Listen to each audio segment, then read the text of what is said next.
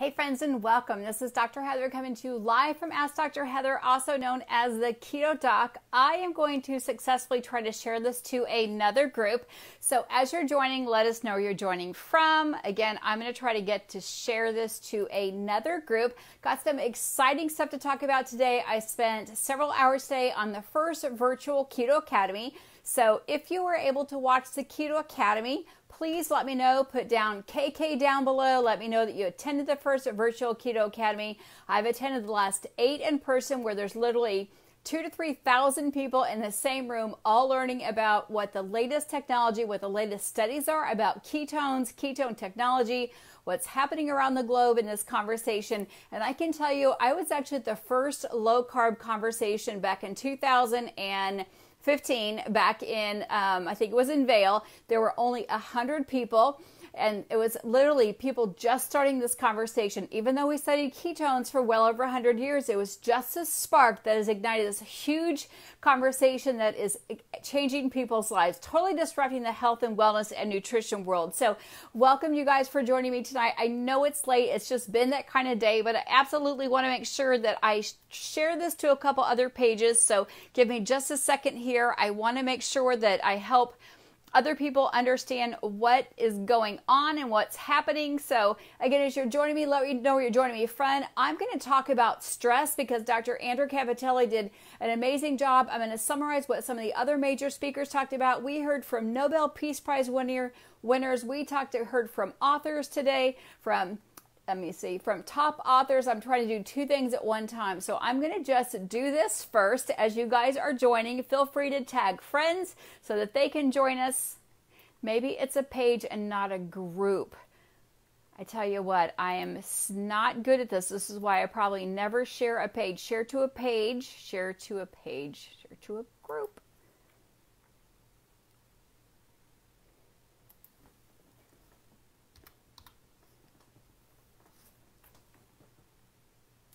Thanks. Sorry for the silence, guys. I always want to be super mindful of your time.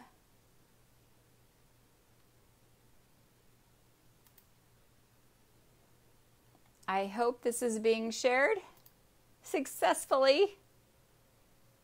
So, as we get going here, and I'm sharing to our page,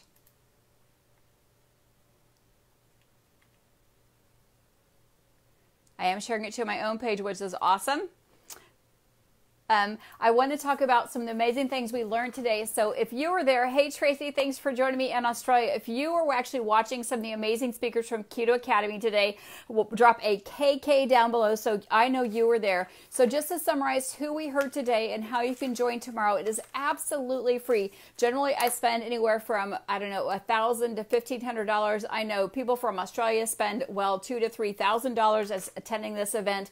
We heard from naturopath Dr. Andrew Campitelli. We heard from Dr. Ken Ford, who's a Nobel Peace Prize winner. He's retired now. He has STEM Talk. If you've never listened to STEM Talk, drop over and catch his podcast. He has amazing speakers on there. It's always outside the box thinking. It's always about reinventing yourself. He does a lot to do with robots, um, which is what you know the next technology is. How we get robots to sweep up moon craters into a dustpan. I know I'm just speaking funny, but it's amazing technology he's talking about.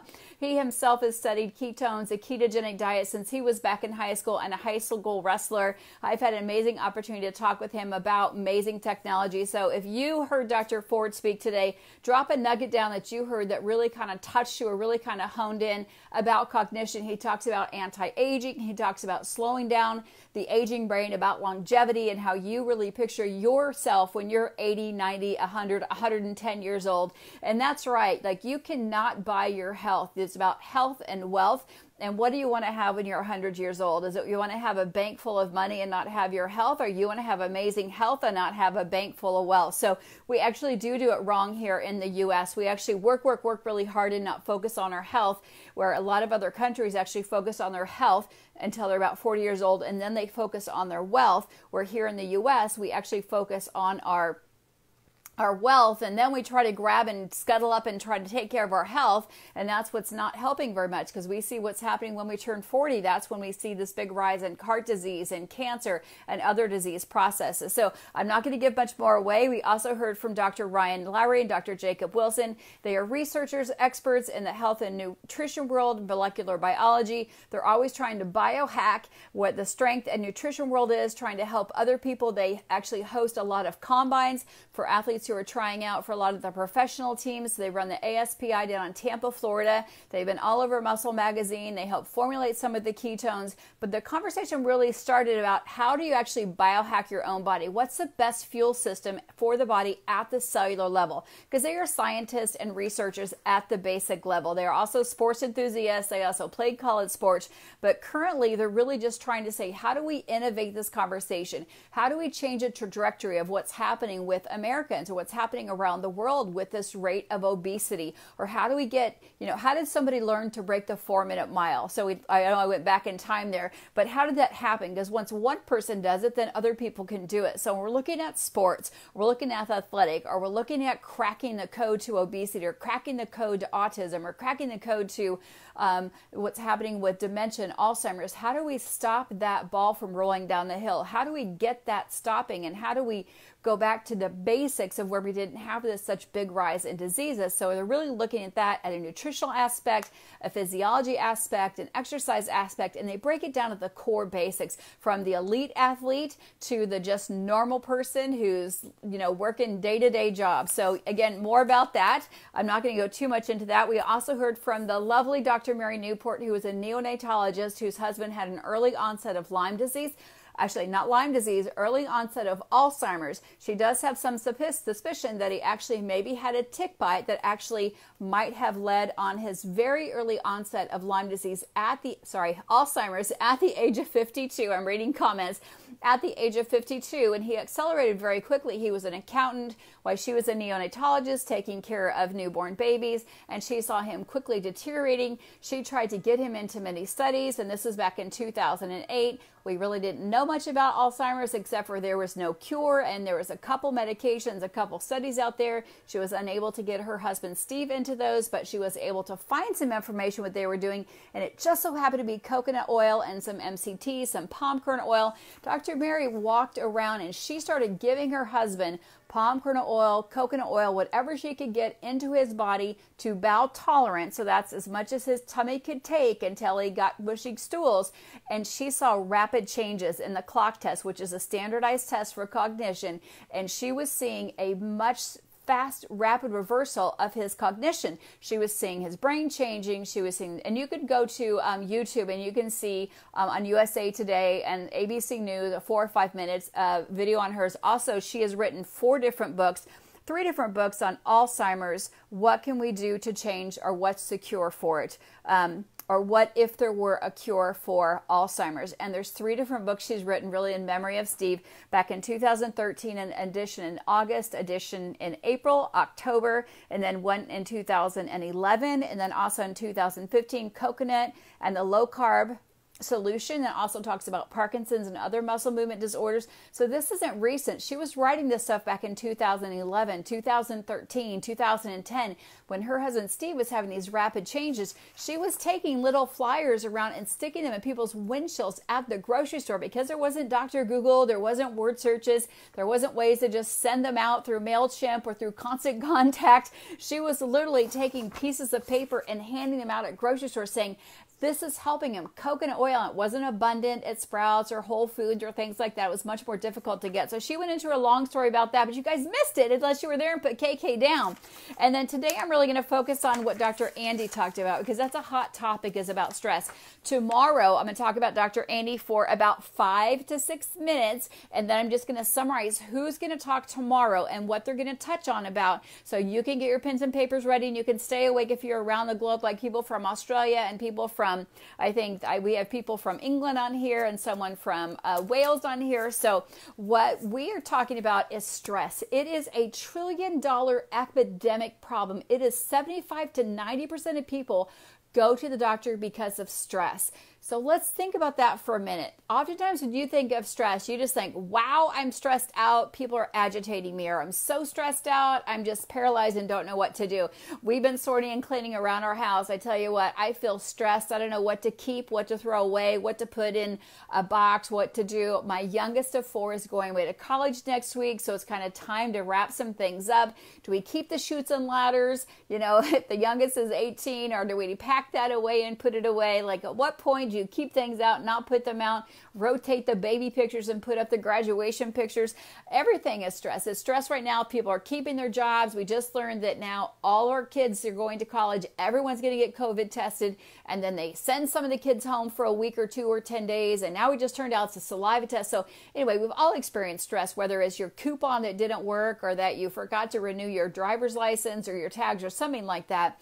But we know that the first point we have to start is with sleep. When you know you have a high level of stress, the first thing you do is focus on your sleep because sleep determines a lot of things. So, and this is what Dr. Lillian's going to talk about in the morning. I can't pronounce her last name, but she is amazing at identifying the key points and the failure in the regulation of the neuron control centers in your brain, which leads to the symptoms that is really causing the psychiatric dysfunction of the brain. And it starts with sleep.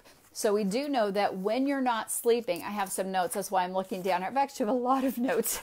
Um, we know that when you're not sleeping, and, and, stress can cause a lack of sleep, your brain is not going to recover. So when you're only getting five to six hours of sleep a night and you're not getting as an adult seven to eight hours of sleep, kids should be getting 10 to 12 hours. You can go to the American Sleep Institute and you can see how many hours of sleep that kids should get. When you're not getting enough sleep, we know that five out of six causes of so stress is a factor in five out of six causes of death. Those causes of death could be heart disease, it could be cancer, it could be stroke, it could be an accident.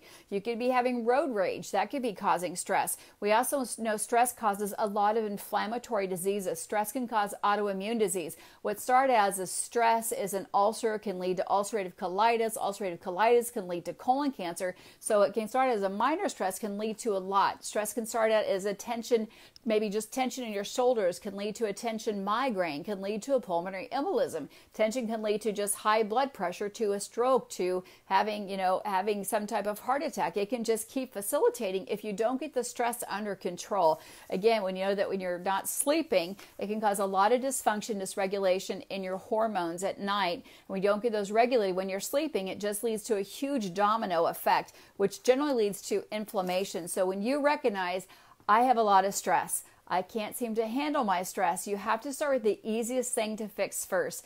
Easiest thing to fix first, I feel, is generally getting some sleep and drinking water. And then third thing is actually getting some healthy food in your body. Don't go for sugar. I know sugar's is highly addictive. It hijacks your brain, but you have to slow down and start saying, you know what? One thing I can do is I can eat more healthy diet. I can uh, let go of the sugar because sugar increases stress. That's why a lot of people who have ADHD, they love that sugar because sugar excites the nervous system. We all know that. We know fats calm down the nervous system.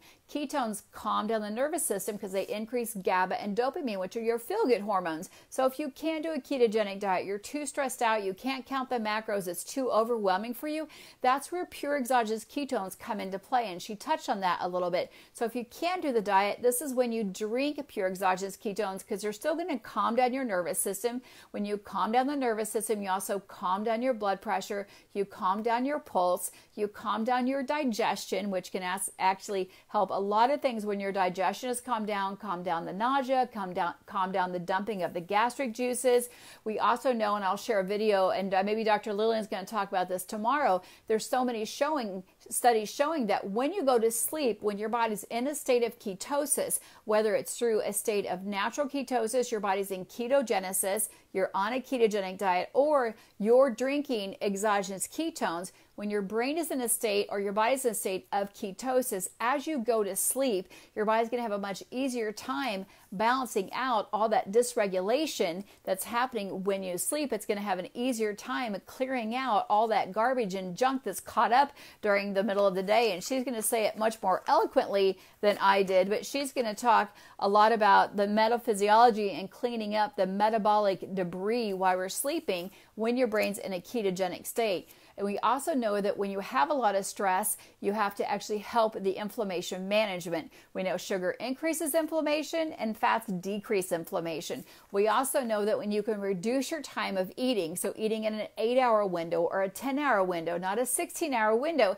it helps calm down the nervous system so your body's not digesting food all day long. If you're in that old style of 80s eating and you're eating, you know, every two to three hours, which we were told to do, so we were told to do. Now I'm telling you, don't do that. We know what we were doing back then has led to the state where you are today. When you're eating every two or three hours and you're doing this, all you're causing is a yo yoing on your blood sugar. That yo yoing is causing a lot of up and down of inflammation. It's causing a lot of havoc on your gut, on your liver, on your pancreas. A lot of stuff is happening when you're yo yoing all that blood sugar. It's causing all that sugar to dump into your brain, dumping in your to your joints. When you can eat in an eight hour period and then it stops, then the rest of the time time your body can do kind of that light spring cleaning. It can get that insulin to really balance out. It can get your stomach to totally empty and just be done for the day, right? Just be done chewing, be done digesting food let it rest, let it totally clean out, let your bowels totally clean out, rest and digest, get all the, the gut bugs, I like to call them, all the enzymes in your stomach reset and overnight, and then be ready for the next day.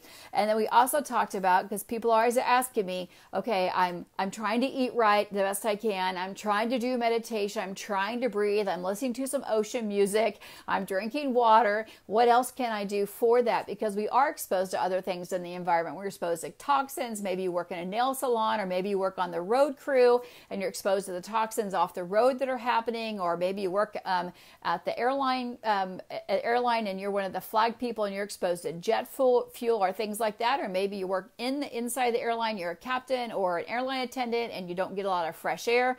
There's other things you can do. So you can use things like seabed, which is a part of cat's claw. It's a formulated blend, but it helps repair your DNA. So it helps really keep your body from aging or oxidating as fast as it can. We also know andrographis. She talked about that as a natural herb. We've used it for years in our office as a natural antibiotic. It's just something that you can use because again, it's a natural herb. You can use it as a natural antibiotic because normal antibiotics, you know, you can't use all the time because your body builds up a resistance to it. Something that's a natural herb, like you garlic is a natural herb, thyme is a natural herb, rosemary, andrographis you can use a lot of time. We know vitamin D we found 20 years ago when I was suggesting vitamin D, I was told it's fat soluble, it's going to make people sick. Now we know that vitamin D is a hormone. It has so many amazing properties. Low vitamin D can be one of the biggest predictor of heart disease and cancer. So we recommend in our clinic that an optimal level vitamin D is 75 to 100 nanogram per unit. So 75 to 100 is optimal. Often yeah, I am back though. Great. So um, it was refreshing there. So vitamin C, anywhere from three to five grams are about tolerance. If you take too much vitamin C, you're just going to get mushy stool. So it's cleaning out a little bit of stuff keeping your body nice and acidic with vitamin C because your stomach's nice and acidic. When you're eating processed food, fried food, it tends to change the pH of your stomach. When you're actually eating or taking vitamin C and take a time release buffered C, keeping your body um, higher in vitamin C allows your body to be nice and acidic. So critters, viruses, bacteria, parasites, tapeworms, all those things can't grow in an environment that's acidic, so that's why it's so important. It also inhibits an inflammatory cascade called NLRP3 inflammasome. So if you're known to have inflammation, again, check with your healthcare provider before starting any supplements. But these are things that you can do in addition to meditation and exercising and sweating and eating properly and sleeping properly. Also, zinc is great antiviral. It's great for your brain. It's great for hormone. It's great for manufacturing testosterone. So if you're a person who's early grade, and it's not in your family history, there's a test called a zinc tally test. You can ask your healthcare provider about that. It's a very simple test to do, zinc tally test. Um, I can put that video down below tomorrow because I'm almost out of my video time for tonight, so I have my blue blocker glasses on. But you can do a zinc, simple zinc tally test just to see if you're low on zinc. It's an oral test that you do. You don't have to do a blood test on that to see if you need to take zinc. Also, there's so much rising information the last really 36 to 48 months on melatonin. Yes, your body makes melatonin in the presence of darkness. It wouldn't be, you know, I have all these lights in my eyes and I'm popping a bunch of melatonin so I can stay up all night so I can sleep. That's not the reason we take it. Melatonin does an amazing job at actually decluttering and debriefing and defragging all that stuff that's cluttered up in the lymphatic system of your brain. It's also a great antiviral, but it's a clean antiviral. And what that means is it doesn't take any of the damaged tissue with it. Think about this. If you have like a brown spot in your apple, you have to cut out a little bit of the good stuff to get the brown stuff out. When it's a clean antiviral, it only cuts out exactly what's damaged. So it only takes the brown part of the apple out. It doesn't take any of the extra stuff out. So it's a very clean one. When we talk about dosing of that, we're going to do a long talk about these supplements for our immune system, but just things that you can do is really de-stressing. And that's really the point of my talk. I know I've gone a little bit because I'm super excited about this, but knowing that the 21st century health epidemic is stress. Yes, you can use essential oil. Somebody asked me about that. Absolutely. Yes, you can do herbs like CBD. Yes, you can take Epsom salt bath. Yes, you can do yoga. Yes, you can do CrossFit. Yes, you can run. There are so many amazing things you can do. Acupuncture, chiropractic, Reiki. Yes, yes, yes to all those type of things. But do know this, your body must breathe to survive. You can't go very long without that. You must drink water. You can only go 2 or 3 days without water. There is a better source of water and there are poor sources of water. But first, start with water. Like bubbly water, I'd say drink water first. Don't go for all the effervescent stuff. And we could talk about Kangen, reverse osmosis, water softeners. First, just get water and at least half your body's weight in water. Another eight or 10 ounces if you drink caffeine. Another eight or 10 ounces if you're out in a hot environment all day long or work in a hot environment drink water, get electrolytes. Those are essential for life. Dr. Ryan, Dr. Jacob also talked a little bit about electrolytes and clean amino acids. Amino acids are the building blocks to your body. They are essential. We have essential fatty acids and we have an essential amino acids. Essential means necessary for survival. That means to be in existence here on our earth. Our body stores about 40,000 calories at a minimum. 2,000 calories of those are sugar. So we can go a few days. So if you know that your body burns maybe 2,500 calories a day, if you didn't eat any carbohydrates, your body would go through most of the sugar in a day or two. And then you'd be in ketosis because then you start tapping into your fat. But remember, when you're eating nuts or you're eating even like celery and things like that, it's going to have a few carbs in it. Even protein requires insulin has a few carbs in it. So if you know your body stores at the minimum 40,000 stored calories, 2,000 calories of that is carbohydrates, you can go a few days without food. However, your body is its own pharmacy. It takes the foods that we eat and turns that around and makes all of the resources in our body for our immune system, for healthy bones, for healthy lung tissue, for healthy all tissue, for healthy hair tissue. People talk to me all the time about hair loss on a keto diet. Well, we actually make hair from amino acids and from collagen. So, are you eating some bone broth? Are you eating some ligaments? Are you having enough healthy, clean protein in your diet? So, we'll talk about that another day. I do want to just chat about who's talking tomorrow so you can still get some tickets for tomorrow. It is free, guys. I can't believe it. It's free. So Dr. Lillian is a neuroscience psychologist, neurologist, and physicist from Georgetown University. She is a human a human brain mapping specialist. So she is at 11 a.m. Eastern Standard Time. So you can just click and register for that. She's going to really talk about and identifying the key points of failure in the regulation or dysregulation of the neural control of the circuits of the brain. So again, I really, she talks about sleep all the time, which I absolutely love. So she's going to talk about the signs and symptoms that lead to the, the dysregulation and really where we get the diagnosis of some of the psychiatric diseases. She's going going to talk about why ketones are such a better fuel source for the brain over carbohydrates and why, as we have a broken brain, as we age, or if we've had a damaged brain through a car wreck or through um, you know you're falling down the stairs when you were a baby or you're in a motor vehicle accident or you had several concussions or you have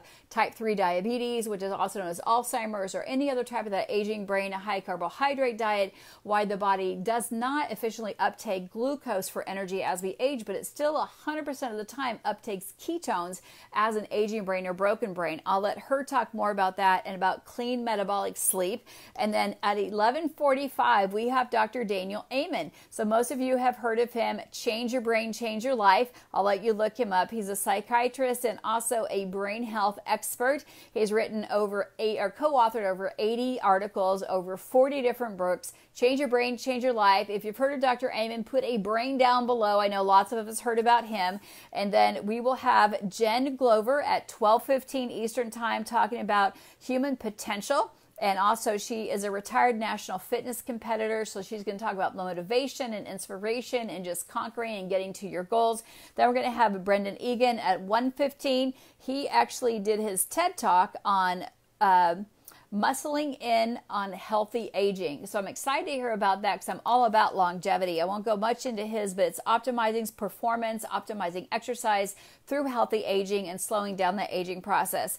And then two o'clock, we have the Iron Cowboy. So his name is James Lawrence. I've heard him speak before. 50 Ironman, 50 days and 50 days straight. So 50 triathlons. So 50 Ironmans, not just triathlons, in 50 states in 50 days. He took his wife and his children with him. Think about that for a minute. It's an amazing story. Go YouTube these guys tonight. I will post again all the links. All you do is click and sign up and click and sign up. There are seats limited. Some of these webinars can only hold so many people. So register tonight. It is absolutely free. You will not be sorry. You will get a link via email. So you have to register for each and every one of those. But super excited to have you guys join us. You will not be sorry for the information that's out there. And you'll be like me. You'll be taking all these notes and you will be like, man, I wish I would have listened to that a little bit more and had could have written faster. I wish I could have stopped that. But thanks again for joining me. If there's a topic that was super hot for you, please share it down below so we know what you thought was like super interesting and what really called out to you. I do think we'll talk a little bit more about stress throughout the week. We'll break that down a little bit slower. And if you've got some tactics that really work best for you and you're finding some things work well for your stress, whether it's horseback riding, beating out in nature more, I don't know, getting away from toxic friends, toxic relationships, but knowing that stress is a 21st century health epidemic, a trillion dollar deficit in our health industry. We can change that, guys. We got to turn the positivity up. We got to change what we're eating. We got to change how we're thinking. We got to get moving more because we know that movement increases our positivity, increases our brain, increases our lymphatic attitude. And then we got to get a tribe around us that actually lift us up and help our light shine. It's that easy. So, again, this is Dr. Heather Cardin coming to you live from Ask Dr. Heather, also known as the Keto Doc. Don't forget to follow me over on Instagram. I'm trying to figure that out. Instagram is also Ask Dr. Heather. YouTube channel and blog is Ask Dr. Heather. Recipes you can find there for some easy, fun keto stuff to top to cook or paleo low carb, however you choose to mix up your carbs on that. But you guys will be seeing me tomorrow, so I'll be just debriefing some of the stuff tomorrow. They run back to back, so I thought I'd be t- I've thought I'd jump in between here between the t- speakers, but I don't have time because they just run back to back to back. So you guys have a great day, and I'll be checking with you tomorrow night. And again, let me know where you're joining from. Let me know if you're watching on replay, and you have my permission to share. So have a great day, guys, and we'll see you tomorrow.